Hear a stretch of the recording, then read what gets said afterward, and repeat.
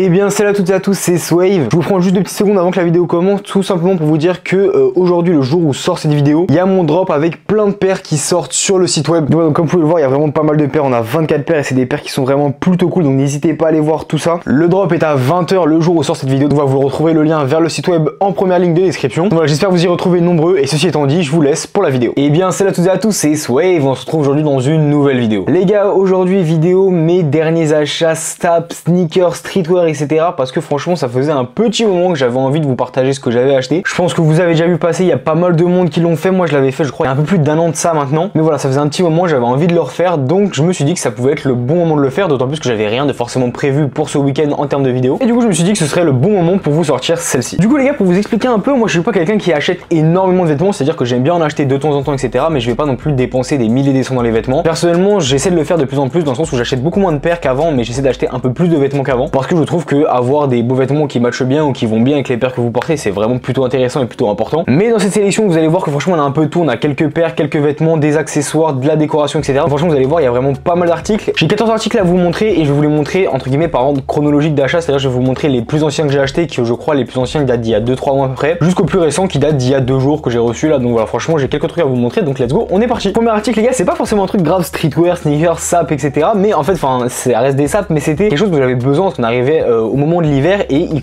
commençait à faire un peu froid. Du coup, pour pouvoir aller au taf, etc., je me suis acheté un petit pull, comme vous pouvez le voir, en maille. Je sais pas si ça va bien ressortir à la caméra parce que le pull est tout simplement noir. C'est un pull New Look que j'ai acheté sur Asos pour une trentaine d'euros, je crois. Honnêtement, la qualité, c'est pas fou, franchement, euh, pour une trentaine d'euros. Maintenant, ça fait le taf dans le sens où ça dépanne, ça va bien aider pour l'hiver, etc. Je vous mets des plans portés, franchement, je le trouve plutôt cool dans le sens où il est pas trop serré, pas trop ample, il est vraiment entre les deux. Et je trouve que c'est vraiment un pull qui tient chaud sans trop tenir chaud, dans le sens où, imaginons qu'on est euh, dans une période où il fait genre 10 degrés, on n'a pas besoin de mettre un pull plus une doudoune, mais en fait, tout simplement mettre euh, ce pull en maille, entre guillemets, avec ma doudoune au-dessus, mais je vais rien mettre en dessous, etc. Et je trouve que ça rend plutôt bien, que c'est plutôt joli et que c'est plutôt confortable et que ça tient vraiment chaud. Donc ça, c'est vraiment l'objectif pour l'hiver. Si jamais ça vous intéresse, les gars, je vais essayer de vous mettre un maximum de liens vers les articles que je vous présente en description. N'hésitez pas à les voir en description si jamais les articles y sont. S'ils n'y sont pas, c'est simplement qu'ils ne sont euh, plus dispo. Donc voilà, franchement, je vais essayer de faire mon maximum, mais s'ils sont plus dispo, malheureusement, je peux pas les inventer. Du coup, voilà, premier article, un petit pull en maille que je kiffe avec les manches etc. et que j'ai pas mal porté pendant l'hiver. Je porte un petit peu moins maintenant parce que je sais pas, j'ai pas eu l'occasion de le remettre. Par contre, si jamais ça vous intéresse, etc. et vous cherchez à l'acheter, sachez que c'est un pull qui fait des bouloges, donc je vous le conseillerais pas forcément énormément. Après voilà, libre à vous d'aller regarder ça, je vous mets toujours le lien en description quand même, mais euh, c'est un peu relou parce que quand ça fait des bouloches, en fait, on est au bout de 4-5 lavages, le truc commence à faire des bouloches, donc je l'ai pas énormément porté. Mais voilà en tout cas pour le premier article. Article suivant, c'est un article que j'ai acheté chez Zara, donc encore une fois, vous pouvez vous dire, oh là là, de la fast fashion, etc. C'est pas de la qualité. Sauf que je sais pas si vous avez suivi récemment, Zara a essayé de faire simplement des articles beaucoup plus quali qu'avant. Et c'est ce qui fait qu'on s'est retrouvé avec une gamme de produits qui est beaucoup plus cher qu'avant, mais qui est aussi bien évidemment beaucoup plus quali. Et du coup, j'ai acheté ce petit euh, t-shirt littéralement très basique, uni, euh, qui est un petit peu crème comme ceci. Franchement, je l'aime beaucoup parce qu'il est vraiment plutôt épais et je vais vous montrer comment est-ce qu'il rend porté. En fait, ce que j'aime bien, c'est qu'il est oversize, mais qu'il est coupé assez court et donc du coup, il descend pas trop. Moi, c'est le problème que j'ai, je suis pas hyper grand, je fais 1m75. Donc quand je mets des t-shirts oversize, souvent ils sont beaucoup trop longs et ça commence rapidement à faire un effet un peu robe. Je n'ai pas trop cet effet, mais avec ce t-shirt, je me retrouve bien s'il coupe assez court. En plus de ça, euh, au niveau de la coupe, on a aussi le col qui est assez proche, comme ici un peu ce t-shirt que je porte ici. C'est un col qui est assez proche. J'aime pas trop les cols qui descendent trop parce qu'en plus ça, moi j'ai un cou qui est assez long. D'ailleurs, j'ai vu qu'il y en a certains qui se sont pas gênés pour me le faire remarquer en commentaire. Mais en tout cas, voilà, franchement, j'aime bien parce que ça coupe assez court et j'aime bien quand ça remonte vraiment bien assez ras du coup. En plus de ça, je sais pas si ça va bien se voir à la caméra, mais euh, il est tout simplement bien doublé ici avec une, euh, bah, le col qui est bien doublé. Et on retrouve la même chose ici sur les manches. Et c'est un t-shirt Zara basique, mais je crois que je l'ai payé environ 30-40 euros. Je saurais plus vous dire exactement, mais je crois que c'est dans ces tranches de prix là. Donc c'est assez cher pour un t-shirt vraiment uni, mais je trouve que vraiment il faisait vraiment le taf, qu'il était très quali, donc c'est pour ça que je l'ai pris. Article suivant, encore une fois chez Zara que j'ai acheté le même jour que euh, bah, ce t-shirt, c'est tout simplement ici un cargo qui est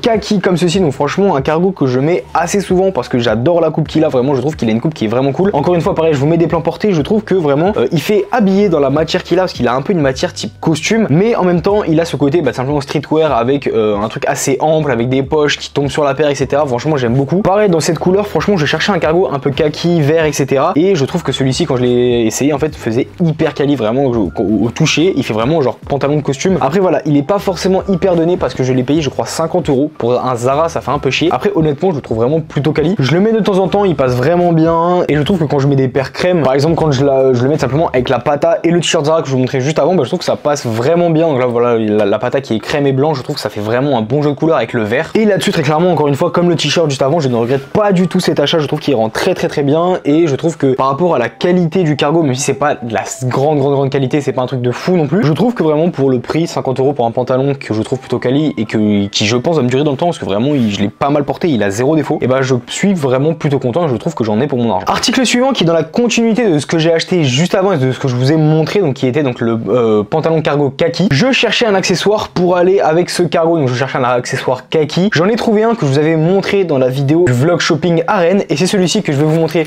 juste maintenant, c'est simplement cette sacoche porteur. Alors porteur de ce que j'ai compris, c'est du made in Japan, donc c'est une marque de, bagagerie made in Japan. Ils font pas mal de choses, ils font des sacs, ils font des porte-monnaies, voilà, franchement, il y a vraiment pas mal de choix. C'est pas du luxe de ce que j'ai compris, mais ça reste quand même quelque chose qui n'est pas donné. Dans le sens où en termes de prix, on va tourner entre 100 et 1000 euh, euros selon les produits que l'on cherche à acheter. Cette sacoche ici m'a coûté 220 euros, je crois, si je dis pas de bêtises, donc ça reste quand même un budget. Maintenant, je vais vous montrer, je trouve qu'elle est vraiment plus de qualité. Déjà, rien qu'au niveau euh, du tissu utilisé, c'est du tissu type Bombers. C'est vraiment l'aspect qui est retrouvé. Et cet aspect euh, Bombers, on le retrouve ici à l'intérieur, simplement parce qu'on a bah, l'intérieur en orange comme sur les Bombers à l'époque. On retrouve ici aussi sur cette sacoche deux petites poches à l'avant qui sont vraiment pas utiles à mon goût, dans le sens où je trouve qu'elles sont mal faites parce qu'il y a un bouton plus un scratch et ça, c'est pas très ample, donc c'est assez compliqué d'ouvrir la poche. On a ici une fermeture éclair qui est dorée, qui je trouve rend super bien avec la sacoche. Je suis pas fan généralement de tout ce qui est métaux dorés, dans le sens où même dans les bijoux, etc., je trouve que ça rend un peu bizarre. À part là, par exemple, vous voyez, j'ai un collier qui est assez fin, donc je trouve que ça va, mais par exemple dans des bagues, etc., je trouve que ça rend pas très bien. Là, sur le verre, je trouve que ça passe vraiment bien et que le, doré s'accorde vraiment bien avec le verre de la sacoche. C'est une sacoche qui se porte en bandoulière, donc comme vous pouvez voir ici avec la petite euh, bah, bandoulière, je pense que c'est ça le nom. Mais si vous voulez, vous pouvez faire un style un peu plus à l'ancienne parce que ici, vous avez des euh, petits passages euh, pour en fait simplement venir glisser votre ceinture dedans, c'est-à-dire que vous pouvez accrocher la sacoche à votre pantalon, faire passer la ceinture dedans et en fait simplement avoir la sacoche accrochée à votre pantalon. Personnellement, je suis pas fan du tout, c'est pas mon délire du tout. Après voilà, il y a la possibilité de le faire, donc ça reste une possibilité en plus. Pour ce qui est de l'intérieur, c'est vraiment assez simple. On a simplement ici donc une grande poche et ici également il y a une poche à scratch, donc vous pouvez venir ranger par exemple, je sais pas, des trucs un peu plus précieux. Hein. Et ici tout le reste, toutes vos affaires, etc. Donc voilà, franchement, c'est une sacoche que je porte assez souvent, que j'aime beaucoup et euh, vraiment je la trouve vraiment très quali, donc je suis hyper content de l'avoir acheté et pareil, je ne regrette pas du tout de l'avoir acheté. Article suivant, on passe sur la première paire de la vidéo. Peut-être que les plus observateurs d'entre vous euh, sauront de quelle paire je veux parler parce qu'elle a disparu dans le décor juste derrière moi. C'est une paire que je suis hyper heureux d'avoir eu la chance de cop directement pré-retail sur SNKRS. De toute façon, directement à la boîte, je pense qu'il y en a beaucoup qui l'auront reconnu assez rapidement. Et on est ici sur la paire de Jordan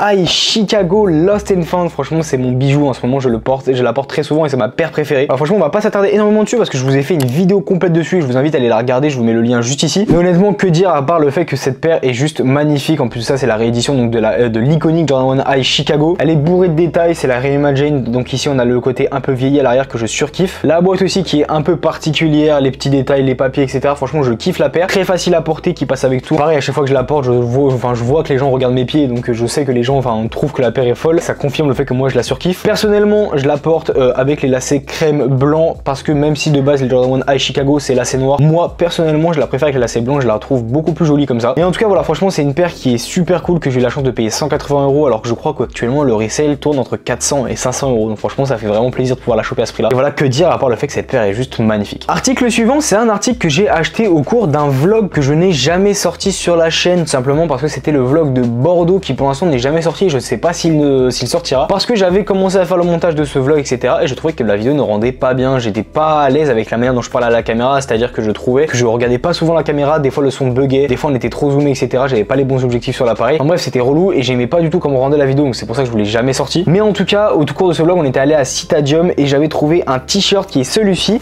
qui est un t-shirt qui peut paraître plutôt simple comme ça à l'avant, mais à l'arrière, on a un graphisme qui est vraiment cool. C'est donc un t-shirt Arte, comme vous pouvez le voir juste là, et vraiment c'est un t-shirt que je surkiffe. Donc Arte, franchement, marque qui a explosé, je trouve, autour des deux dernières années, qui est une marque francophone, parce que je crois que c'est une marque belge. Corrigez-moi si j'ai une bêtise, mais il me semble que c'est une marque belge. Et je n'avais jamais eu l'occasion de simplement acheter du Arte parce que j'avais jamais rien trouvé qui me plaisait, etc. Plus, c'est une marque qui coûte assez cher parce que les t-shirts tournent aux alentours des 60 euros, si je dis pas de bêtises. Là, quand je l'ai acheté, c'était le moment des soldes, donc j'ai eu la chance de pouvoir le payer 42 euros. Et franchement, je trouve que le graphisme est vraiment cool. On a donc un euh, trèfle à quatre feuilles qui est, je crois, le logo de Arte avec un petit visuel, etc. Plus, on a le petit, euh, la petite typo Arte en bleu juste en dessous. franchement, je trouve qu'il rend vraiment bien. Au niveau de la coupe, c'est pas ce que je préfère dans le sens où je trouve qu'il fait un peu euh, les manches sont un peu courtes, mais qu'il est un peu trop long. Voilà, c'est un peu l'opposé de ce que je disais par exemple avec la coupe du Zara que je vous ai montré tout à l'heure. Après voilà, franchement, ça reste un t-shirt qui est cool et que je kiffe et que je mets souvent avec l'article que je vais vous montrer juste après. Et l'article que je vous montre juste après, c'est simplement un jean qui est le seul jean que je vous présenterai de la vidéo parce que je mets pas énormément de jeans. Celui-ci, pareil, je l'avais vu à l'occasion simplement de ce vlog à Bordeaux, sauf que euh, je ne l'avais pas trouvé à ma taille. Je me décaler pour pouvoir montrer l'article beaucoup plus facilement. C'est simplement un jean Dickies qui, comme vous pouvez le voir à l'étiquette ici, était sorti à l'occasion des 100 ans de la marque. Et donc c'est un jean vraiment qui est dans une qualité qui est vraiment ouf. Je sais pas si ça se verra bien à la caméra, mais regardez vraiment, je trouve qu'il est, euh, enfin même je pense qu'à la caméra ça se voit, il est super épais, il est limite un peu cartonné tellement il est épais, mais franchement je le trouve incroyable. Petit bémol de ce jean qui me saoule un peu, c'est que ce jean euh, déteint, mais vraiment de dingue, c'est-à-dire que je l'ai nettoyé, enfin je l'ai mis à laver, je crois 3-4 fois, et il déteint encore, donc ça me saoule un peu, je vous avoue, parce que ça m'a euh, quasiment ruiné une pâte à, la, enfin la pâte à que je vous ai montré tout à l'heure, parce que ça va mis du bleu partout sur la paire. J'ai réussi à la récupérer en nettoyant, et j'ai aussi acheté une paire que je vais vous montrer juste après, enfin plus tard dans la vidéo, sur laquelle euh, le, jean a déteint, sauf que la paire est en daim, donc là c'est beaucoup plus compliqué à, récupérer. Donc je pense que je vais essayer de le remettre euh, à laver en mettant une, vous savez, une, serviette éponge qui permet de récupérer les couleurs et c'est anti-décoloration. Mais en tout cas, voilà, franchement, même si c'est un jean que je surkiffe, qui a une coupe comme je vous montre à la caméra, qui est vraiment assez sympa, un peu skate, qui est vraiment très très très large, régulier, J'adore quand même ce pantalon, je le mets pas tout le temps parce que voilà, il est assez large, etc. Mais quand même, je le trouve vraiment super cool. C'est vraiment un jean qui est très quali. C'était la première fois que j'achetais un jean aussi quali, je pense. Au niveau des prix, c'est pas donné. Je crois que le prix c'était 100 euros là-dessus. J'ai réussi à le trouver sur un site pour 75, si je dis pas de bêtises. Je trouve que 75 euros pour un jean, c'est cool. 100 euros, ça commence à être un petit budget. Maintenant, voilà, si vous voulez des jeans quali aujourd'hui, si vous allez chez Levi's, etc., c'est les mêmes prix. Donc voilà, franchement, Dickies, c'était la première fois que j'achetais. Je voulais essayer et je suis vraiment pas déçu. franchement, un jean qui est vraiment cool, mais j'espère juste qu'un jour il arrêtera de déteindre parce que je vous avoue que ça me saoule un peu de tuer mes pères. Allez, ensuite, passons à un petit peu de décoration. Je pense que vous le voyez derrière moi, vraiment, les étagères font vraiment vide. Bah, en fait, simplement, j'ai acheté ces étagères il y a à peu près un mois et demi maintenant, je crois. Et je cherchais euh, à décorer ma chambre avec des choses qui m'inspiraient, des choses que j'adorais, etc. Et en fait, on a fait une pierre de coups dans le sens où à Noël, ma famille m'a offert un tourne-disque. Donc, je vais pas vous le montrer parce qu'elle est posée, la fin, ma, mon tourne-disque est posé par là-bas. Euh, si jamais je vous laisse la ref en description, c'est un tourne-disque qui est vraiment plutôt cool. Et en gros, les tourne-disques, ça sert simplement à faire jouer les vinyles. Et ça faisait un petit moment que je commençais à m'y intéresser, etc. Et euh, ma famille m'a offert ça à Noël. Et du coup, je me suis acheté pas mal de vinyles qui, déjà, de 1, je trouve, sont super cool pour bah, mettre en display, en décoration, etc. Et de 2, je trouve que c'est vraiment une nouvelle manière d'écouter de la musique. C'est complètement différent que d'écouter, genre sur Spotify, Deezer, etc. Ça va vraiment pas s'écouter de la même manière. C'est-à-dire qu'il va falloir prendre le temps, il va falloir se poser. Vous n'allez pas écouter des playlists, vous allez écouter un album en entier, vous allez tourner le disque, etc. Vraiment, je trouve que c'est une nouvelle manière d'approcher la musique. Ça va s'écouter dans des moments où vraiment je suis posé. Imaginons, genre, par exemple, je fais mes colis, etc. C'est là plutôt que je vais écouter euh, bah, les, vinyles. Mais voilà, en tout cas, franchement, je trouve que c'est super cool. Et du coup, j'ai acheté pas mal de vinyles entre temps et je vais vous montrer tout ça. Il y en a 7. Donc, on va passer assez rapidement dessus, mais je vais vous les montrer un par un. Comme ça, je vous, je montre. Si jamais ça vous intéresse pas, vous pouvez avancer et aller à la suite. Euh, honnêtement, moi, j'écoute beaucoup de rap US et UK. Pas énormément de rap français, un petit peu, mais pas trop. Mais du coup, j'ai quasiment que des disques euh, rap US. Je crois que j'ai que des disques rap US même. Donc, le premier, c'est Scorpion de Drake, album que j'ai vraiment saigné et que du coup, été super content de récupérer. C'est l'un des derniers que j'ai acheté d'ailleurs. Et en fait, je me suis dit, mais pourquoi je l'ai pas acheté plutôt Vraiment, été incroyable. Donc, je l'ai acheté et je le trouve super cool. Je pense que c'est celui que j'écoute le plus. Ensuite, Drake étant l'un de mes artistes préférés, même si ce n'est pas mon préféré, j'ai deux albums de lui. Le deuxième étant Take Care, qui est un album qui est beaucoup plus calme, qui date de 2012, je crois, si je dis pas de bêtises, ou 2011. Enfin, c'est vers ces années-là. Et euh, j'adore cet album vraiment. C'est un de mes albums préférés aussi de Drake. Ensuite, on a du XXX Tentation. Pareil, ça c'est des musiques de dépressif, mais j'adore euh, ce qu'a fait XXX Tentation, paix à son âme. Mais voilà, franchement, j'ai beaucoup écouté ces, musiques. Et donc ça, c'est 17, je crois, de XXX Tentation. On a ensuite Astro World parce que en, bon, en tant que bon sneakerhead, je kiffe Travis et je kiffe sa musique et je kiffe tout l'univers de Travis. Donc voilà, franchement, Astro World est un album juste grotesque, si ce n'est l'un de mes albums préférés de tous les temps, parce que vraiment j'adore euh, bah, l'univers de Travis et encore plus qu'il a créé dans Astro World. On a ensuite Pop Smoke avec son album Shoot for the Stars, Aim for the Moon, qui était sorti à titre posthume, je crois, euh, quelques mois après sa mort. Franchement, pareil, un album que j'ai énormément écouté et je l'ai surtout découvert avec cet album. En fait, je l'ai découvert au moment de sa mort et j'ai vraiment réellement écouté ses musiques au moment où cet album est sorti. vraiment, j'avais adoré. Quand je vais écouter des trucs un peu plus où genre je veux m'ambiancer, m'enviager, etc., je vais écouter All Eyes on Me de Tupac. Voilà, franchement, une pochette qui est vraiment lourde parce qu'il y a 4 disques dedans, mais franchement, c'est du pur plaisir. Euh, il coûtait un peu cher, je crois qu'il coûtait une cinquantaine d'euros, mais franchement, c'était vraiment lourd et je suis vraiment content de l'avoir acheté aussi. Et enfin, on termine avec un artiste anglais qui est Dave avec son album euh, We Are All Alone in This Together. Franchement, c'est une, c'est mon action est dégueulasse, mais c'est un, album que j'ai énormément écouté, qui est un peu chill, etc. Et vraiment que je surkiffe. Donc voilà pour les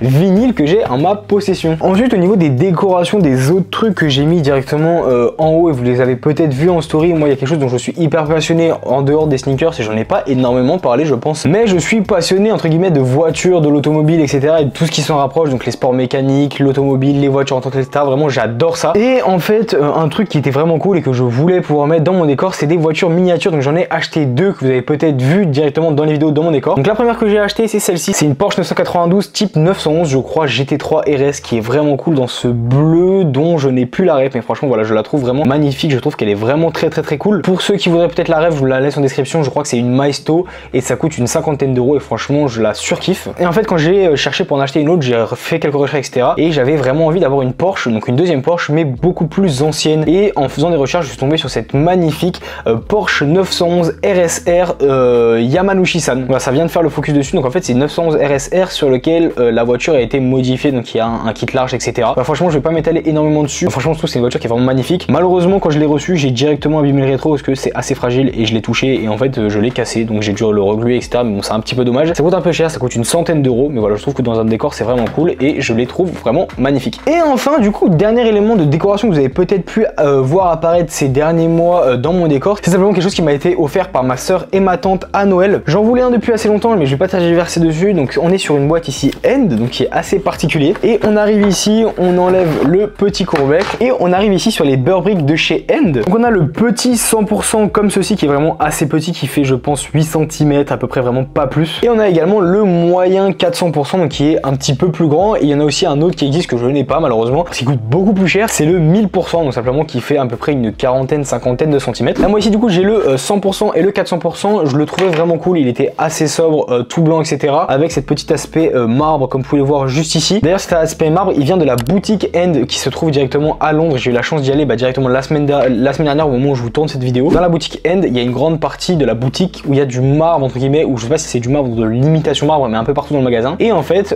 ce Burberry, ça inspire directement de bah, le, du marbre qui se trouve dans le magasin. L'ensemble des deux Burberry coûte 160 euros, je crois, si je dis pas de bêtises.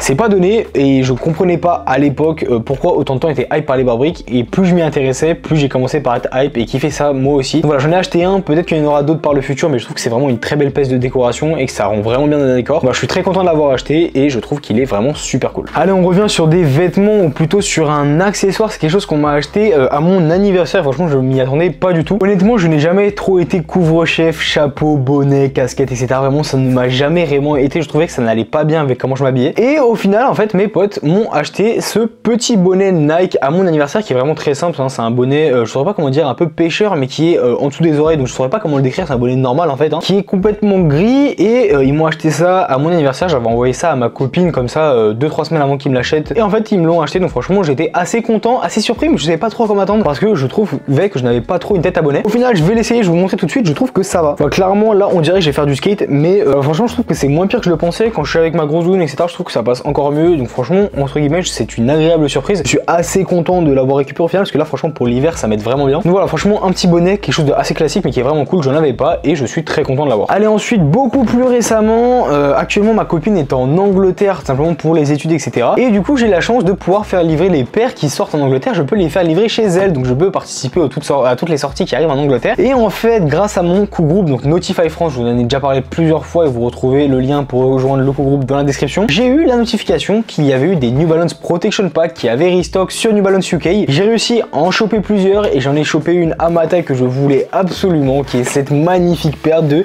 New Balance Protection Pack euh, Light Arctic Purple. Voilà, franchement, une paire qui est juste magnifique. Je vous ai descendu un petit peu la luminosité pour que la paire rende mieux, mais voilà, franchement, je trouve qu'elle est vraiment juste sublime. C'est une paire que je surkiffe, que j'ai portée une seule fois pour l'instant et pour l'instant, j'ai très peur de la porter parce que je voulais la porter avec le jean Dickies que je vous ai montré tout à l'heure, mais c'est sur cette paire que le jean a, à déteint. Voilà, je sais pas si ça va se voir à la caméra, mais si je crois que ça se voit un petit peu quand même et, ça me fait mal au cœur. Regardez tout ça là, c'est devenu un peu plus bleu que ça ne devrait l'être normalement. Voilà, je suis un petit peu dégoûté, mais voilà, c'est comme ça. De toute façon, c'était une paire que je voulais rock, c'était pas une paire que je voulais revendre dans tous les cas. Euh, c'est une paire que j'ai payé du coup 160 euros prix retail, alors qu'au prix resell on tourne aux alentours des 260, 270 euros neuf. Donc franchement, je suis très content de l'avoir chopé. Surtout que j'ai chopé vraiment bien 2-3 mois après sa sortie officielle, donc c'est vraiment super cool. J'avais pu aussi cop euh, le coloris rose et le coloris euh, lunar New Year, mais ces coloris là seront mis en vente lors de la vente qui sort le jour où vous voyez ces vidéos. Donc n'hésitez pas à aller voir tout ça. Mais voilà, en tout cas, franchement, paire qui est super cool cool. J'ai chopé à 160 euros sur New Balance UK. Que dire à part que la paire est juste magnifique. J'adore les protection packs, c'est super confortable. Avec tout le jeu de matériaux, tout le travail qui est fait sur la paire et ce coloris qui est bleu. Ça faisait longtemps que j'avais pas acheté de paire bleue. Donc voilà, franchement, je suis très content et je pense que je vais pas mal la porter parce qu'elle est vraiment juste super cool. Et enfin, dernier élément que j'ai acheté récemment, donc dernier élément que je vais vous montrer dans cette vidéo, c'est un élément que je suis hyper content de vous montrer parce que vraiment je le trouve magnifique. Je l'ai reçu hier ou avant-hier, je sais plus exactement. Pour la petite histoire, cet élément, c'est un article que j'avais vu dans une des vidéos de Common Hype. Donc si vous connaissez pas, c'est un shop basé aux États-Unis qui fait des vidéos, etc. sur les paires qui reçoivent, etc. Enfin bref, voilà, je vous invite à aller voir, je vous laisse le lien en description pareil. Et en fait, j'étais tombé sur une de leurs vidéos où ils essayaient une veste qu'ils avaient reçue et qu'ils vendaient dans leur magasin que je trouvais sublime. Je l'ai cherché partout, sauf que c'est une exclu Asie, donc c'est assez compliqué à trouver. Il y en avait quelques-unes sur Vinted, etc. Mais c'était pas forcément bon état, où il y avait pas ma taille, etc. D'autant plus que c'est des tailles Asie, donc les tailles sont un peu bizarres. Mais bref, je vais vous montrer ça tout de suite. Au lieu de blablater, c'est une paire qui est, c'est une veste pardon qui est juste magnifique et on est ici sur une veste euh, Big Swoosh Boa Jacket euh, qui est juste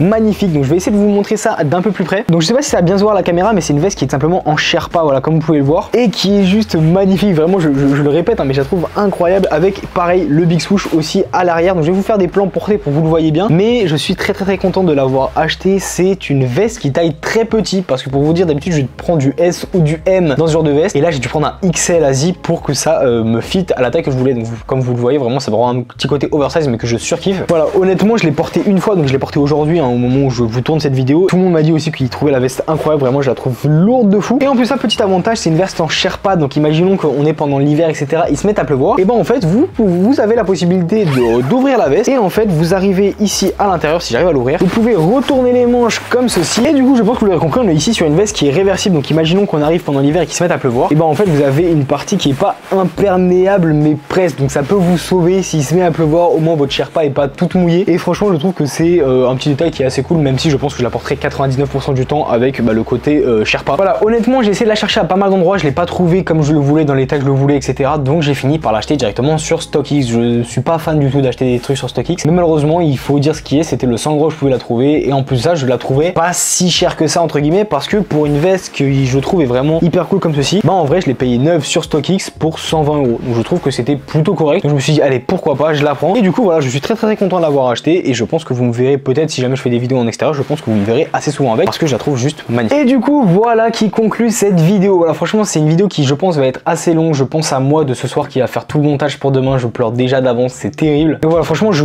je, tenais vraiment à faire cette vidéo parce que j'adore ça, vous montrer euh, ce que j'ai acheté, etc. Et je sais que généralement, c'est des concepts qui plaisent, donc si jamais tout le monde y trouve son compte, c'est juste parfait. En tout cas, voilà, n'hésitez pas à me dire ce que vous en avez pensé, si vous voulez voir plus de vidéos du genre, etc. Moi, personnellement, c'est toujours cool de vous montrer les vêtements que je vous ai achetés, donc je vais pas vous faire ça tous les mois, mais tous les 6 mois, tous les ans, je pense que ça peut être vraiment bien. Donc n'hésitez pas à me dire ce que vous en pensez en commentaire. Également, n'hésitez pas à me dire en commentaire quel est l'article que vous avez préféré, que ce soit un accessoire, une décoration, un vêtement, etc. Voilà, n'hésitez pas à me dire qu'est-ce que vous avez préféré parce que vraiment il y avait du choix. Je vous ai montré, je crois, 14-15 Donc voilà, n'hésitez pas à me dire ce que vous avez préféré. Et voilà qui conclut la vidéo. En tout cas, voilà, merci beaucoup à tous d'avoir regardé cette vidéo. N'oubliez pas la vente sur mon site web le jour où sort la vidéo. Franchement, il y a des très bons prix, donc n'hésitez pas à aller checker tout ça. Ça vous coûte rien et peut-être que vous pourrez trouver des paires qui peuvent vous correspondre. Également, n'hésitez pas à vous abonner, activer la cloche des notifications. Vous êtes beaucoup à regarder les vidéos sans être abonné et encore plus à ne pas avoir la cloche des notifications activée. Donc n'hésitez pas à le faire. Vraiment, c'est un grand soutien à la chaîne. En tout cas, voilà, j'espère que la vidéo vous aura plu. Si c'est le cas, comme d'habitude, n'hésitez pas à liker, commenter, partager. Et voilà, c'était SwiftKick nous on se retrouve dans une prochaine vidéo.